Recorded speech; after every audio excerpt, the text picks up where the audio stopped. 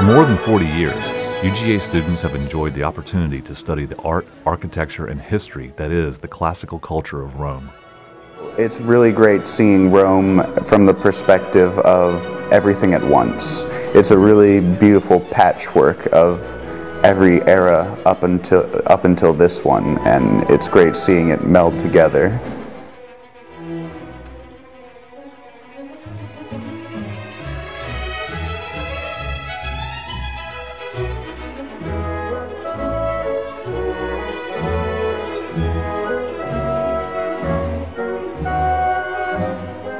Major goals of a university education uh, is to present to students uh, a, a variety and a diversity of disciplines.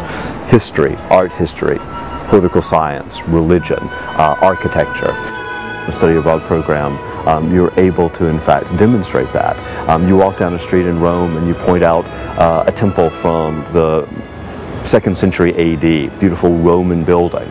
Um, at the end of the block, um, there's a medieval fortress. Um, across the street, um, there is a Renaissance palace. Um, so you, I think, get a better understanding of the fact um, that this is a very organic uh, process of building history, um, that things are layered over one another, and that things uh, react to the environment around them. The first monument for today actually uh, ties in very closely um, to the material we were discussing in lecture, this transition from the end of the Julio-Claudian dynasty to the Flavian period. Um, and it is you know, very rightly called the Eternal City. Um, so one of the things that we hope to do in this uh, program is to communicate to our students why it's the Eternal City, why Rome is always relevant, um, how much of history um, has happened here. My hope is that, uh, that at the very least, um, students end up with a sense of the complexity of the fabric of Rome.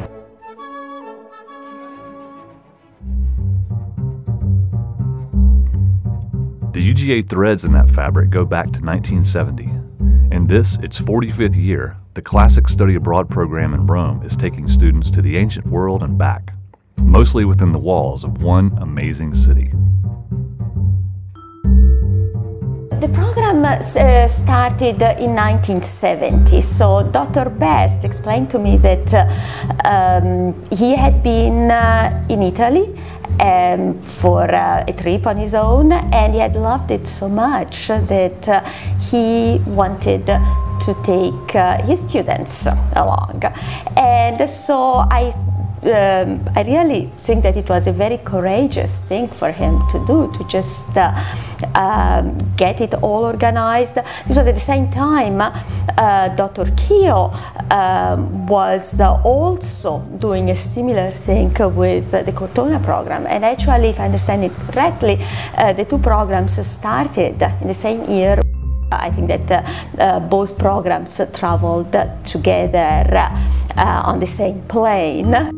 As much as UGA has changed since 1970, its study abroad offerings have also grown by a factor of 12 since the Rome program began. While only a blip in the life of the city of Rome, the period has witnessed an unparalleled ascendance in the opportunities for UGA students, opportunities with long lasting and ongoing impact. The program's instructor in 2014, Christopher Gregg, is himself an alumnus of the program and recalls his first experience in Rome. I, I was a, a, classics major, um, studying classical civilization and taking Latin uh, as an undergraduate when I came on this program, um, which is what inspired me to come on the program. Uh, but after I came to Rome, uh, there was sort of a, a new certainty um, in my mind that uh, I was on the right path here. Once I experienced the city, uh, once I, I, I, walked through the museums and walked through the sites like the Ancient Forum, um, I knew really without any doubt that this was the career that I wanted um, and that I wanted to do everything I could to be able to come back to Rome. Um, in fact, I, I, I somewhat jokingly but not entirely uh, in jest, say that um, my career has simply been um, the process of always uh, finding a new way to get back to Rome. Being in a classroom in Athens or Chapel Hill uh, and a certain sculpture would come up or a certain piece of architecture would come up, um, I would very often be able to say, ah, I've seen that, you know, in the flesh, you know, right in front of it. Um, and it's, it's really amazing the difference that makes. Uh, it sticks with you, um, it has more relevance, it's more concrete, um, and there are quite simply things that you notice when you see something uh, one-on-one -on -one, as opposed to seeing it projected on a wall um, that you would have never noticed in even the best slide or the best picture. While in the Eternal City, UGA students are out and about every day. From the Villa Borghese to Trastevere and the Gianicolo, from the Spanish Steps to the Colosseum and the Palatine Hill. But in between, their home in Rome is the Hotel Ercole.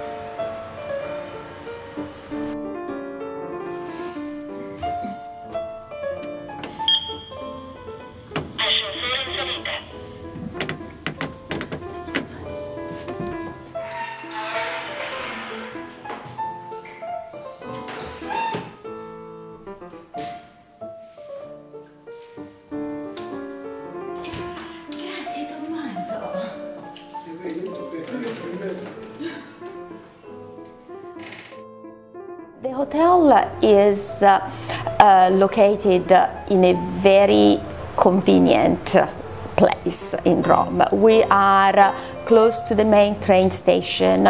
We are within walking distance to the very center of Rome and uh, so it is uh, um, this is really this location is a little bit like an anchor for us a full service hotel throughout the year the Ercole is situated in a historic building with all the modern conveniences of home, plus Tommaso. It is uh, a very family-oriented uh, hotel. Uh, the students uh, feel comfortable being here. They feel comfortable interacting with Flavio, is the hotel owner, with uh, his daughter, with the various staff members.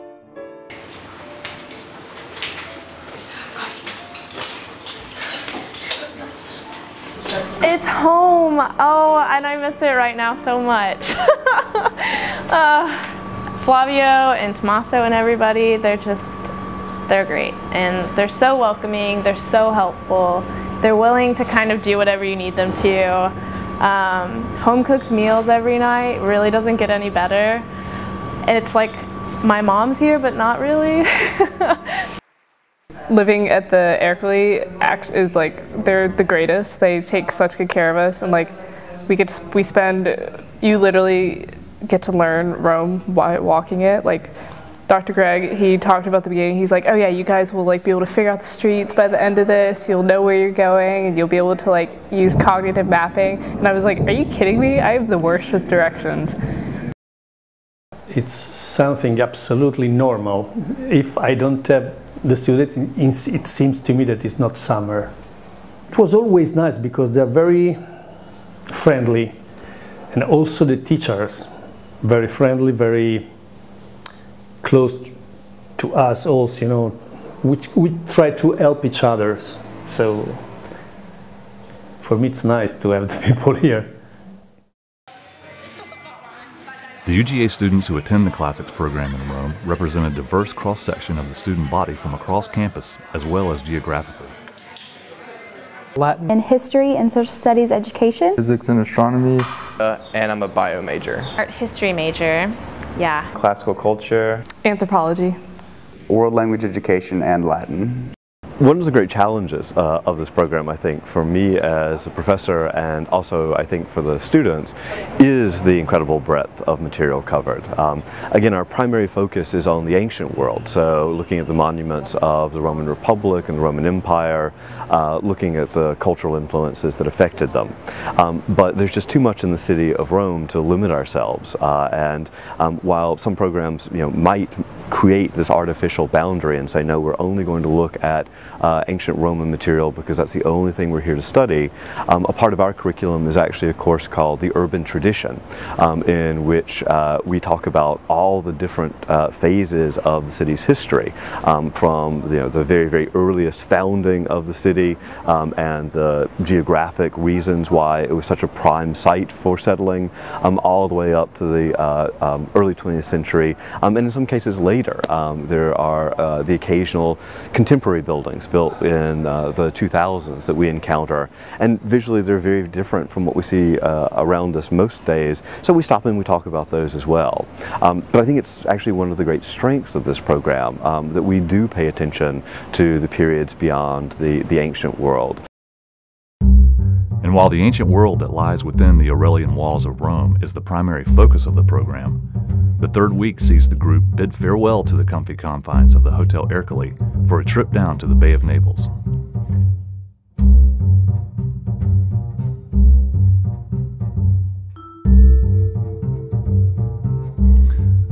The three-day excursion to Campania began in the city of Naples with a visit to the National Archaeological Museum.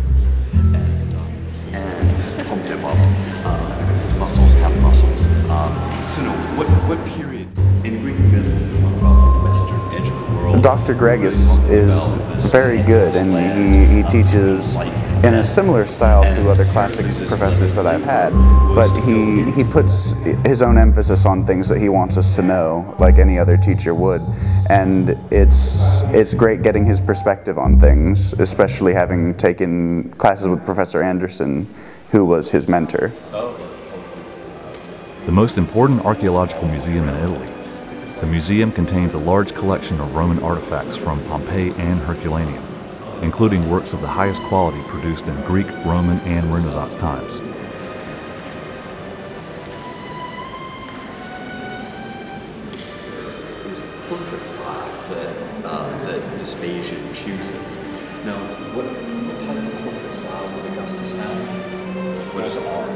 that, classicizing style? So very youthful, serene, for me, I've always loved ancient Rome. I came back to, I came to Italy five years ago and I've always been fascinated with it and I've been lucky enough that the three classics classes that we're taking are part of the history degree.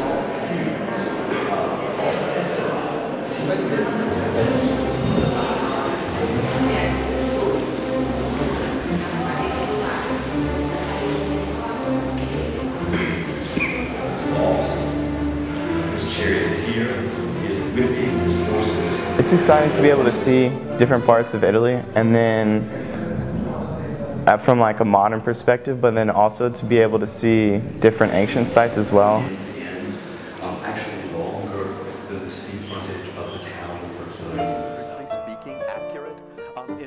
Located in the shadow of Mount Vesuvius, five miles to the southeast of Naples, Herculaneum is one of the few ancient cities that can now be seen in almost its original splendor. Unlike Pompeii, it was mainly affected by pyroclastic flows, thus preserving wooden objects such as rooftops, building beams, beds, and doors. A wealthier town than Pompeii, Herculaneum possessed an extraordinary density of fine houses and far more lavish use of colored marble cladding. Herculaneum was a seaside town up until 79 AD. The sea is now about three miles in that direction but that's due to geologic changes brought about by the eruption in 79 and subsequent geological activity in the area. The earliest phases of Herculaneum are rather opaque to us. We don't really know much about the founding of the city. Um, it probably happened sometime in or maybe before the 6th century BC. Down here on the Bay of Naples, the Italic people are called the Oscans. And it's likely that this city was originally founded by the Oscans. It's the city of Hercules, um, or Heracles to the Greeks, whose statue we just saw in the uh, Archaeological Museum in Naples. The explanation for this is uh, simply probably that the Oscans, like the Etruscans, like the Latins, are ultimately tremendously influenced by Greek culture. As we're going to see tomorrow, there are Greek colonies throughout this area of Italy. And at some point, the Etruscans or the other Italic peoples who settled here probably wanted to connect their own culture to this Greek culture, which in many ways was technologically and artistically and culturally superior.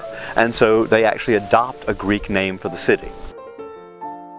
The proprietor um, would stand out here.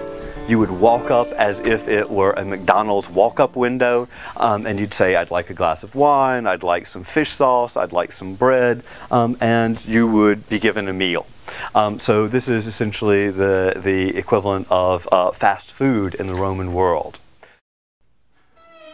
Paestum was a major ancient Greek city on the coast of the Tyrrhenian Sea.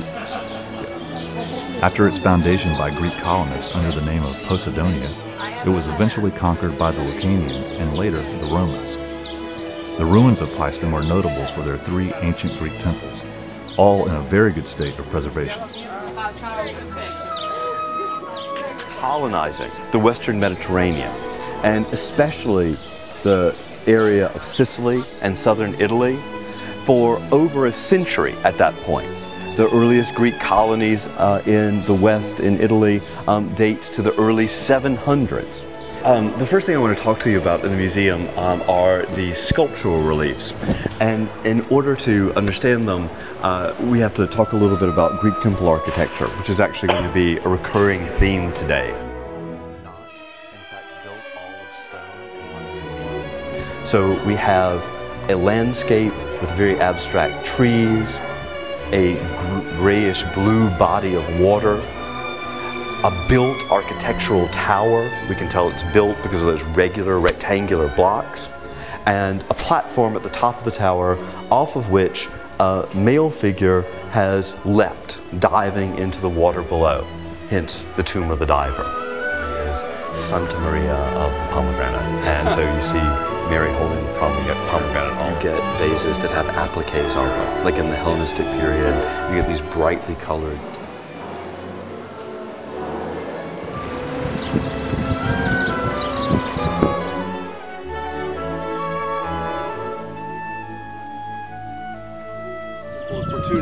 is pseudo rather. What we call the profile of these echinus capitals. Notice how at the upper part of the capital it has this distinctive rounded or curving profile.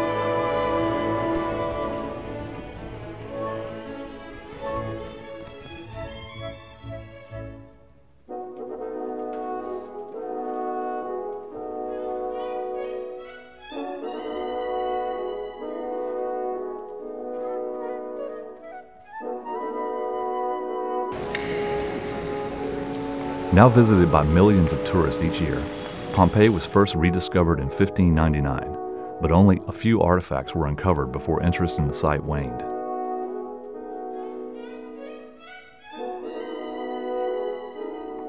Excavation began in earnest after the site was discovered a second time in 1748 and has continued to the present day.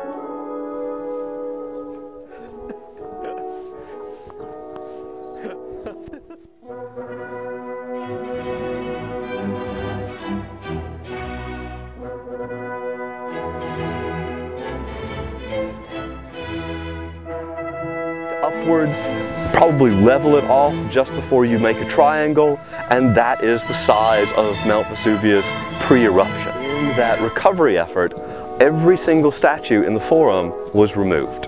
So we know that they were here because of the pedestals, but we don't have any of them. We have the nave and the side aisles, um, and here we have actually preserved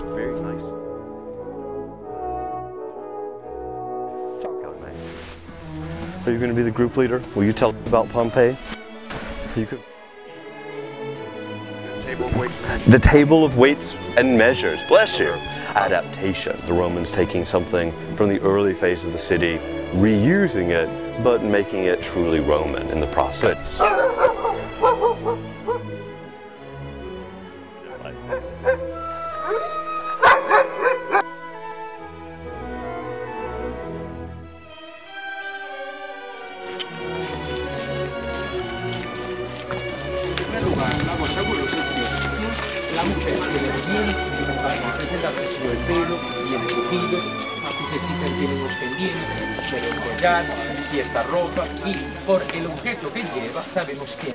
Able to see all the sculptures, and previously that I have learned in class and seen on t- on the the screen, mm-hmm. seeing it in person is just so much better and different. It makes it it makes learning way more interesting.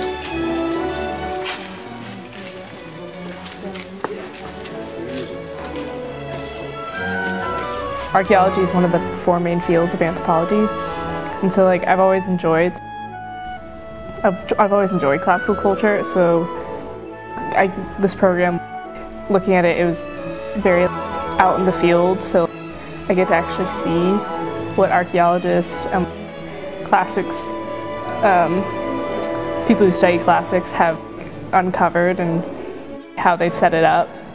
So it's kind of like I get to see the results of someone else's archaeological pursuits, which is really cool.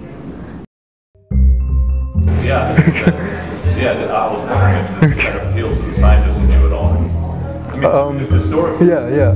Archaeologically, it does very much so. But in terms of art, it's hard for me to really um, grasp and understand like all that stuff. But I really enjoy hearing about um, like archaeological methods and methodologies for excavation and stuff like that.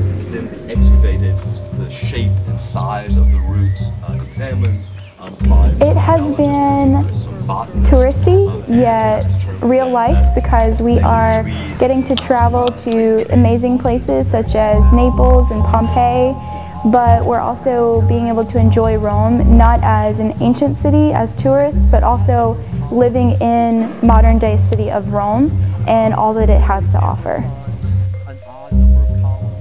I mean, how else are you going to get this kind of experience if you don't like go through these kinds of programs, going out, not just uh, like to the normal places like Paris and England, but going and actually studying in a foreign country with a professor who knows like ridiculous amount of information about the stuff. I mean, you just can't, can't get that kind of experience unless you go study abroad like this. Um, curiously, from our elite Roman writers, um, we know that uh, elite Romans did not eat on the go, that it was considered to be the gauchest thing in the world um, to actually walk down the street eating or stand out in front of an establishment like this and eat. A good elite Roman reclined on his couch uh, always to eat. Um, name, rank, and serial number. uh, Um, Harris Burton from Rome, Georgia, and I'm a bio major. Biosciences. Mhm. Mm, So what's the connection with classics? Well, I took a Latin class this semester, this past semester, and Dr. Biancelli came to my class and talked about the program. And I'd always been interested in like ancient Rome and the culture and the mythology and all that cool stuff. And so when she came in and talked about it, I was just like, oh, that'd be kind of cool to go learn about it for real, taking classes in the city of Rome. So You know, uh, Rome uh, is uh, an expensive city, as we said, but it is also it's such a unique, uh, wonderful place, and uh, it uh, offers so many teaching opportunities. I don't know how to speak Italian. I say that in Italian to the Italian people when they start going off at me, and I'm like, they're like, but you just spoke Italian. How you said you don't know Italian and Italian? Like, Everyone "Oh." is so different. We're all, you know, there's a couple sorority girls and then people who are different majors that aren't related to classics at all. So kind of get a well-rounded idea of what UGA is through other people that you get to become really, really good friends with, which is really cool too. Rome and love. Roma, R-O-M-A, amor, A-M-O-R. The reverse of one another. Because they have learned to live, to manage a big city, but a big city which is uh, uh, which offers all the challenges of a big city, but it is also comfortable. It's beautiful. It's uh, and full of surprises. You can be here for weeks, months, years, and it will still surprise you. You will still find something that you have never seen before, or something that you want to go back to over and over and over again.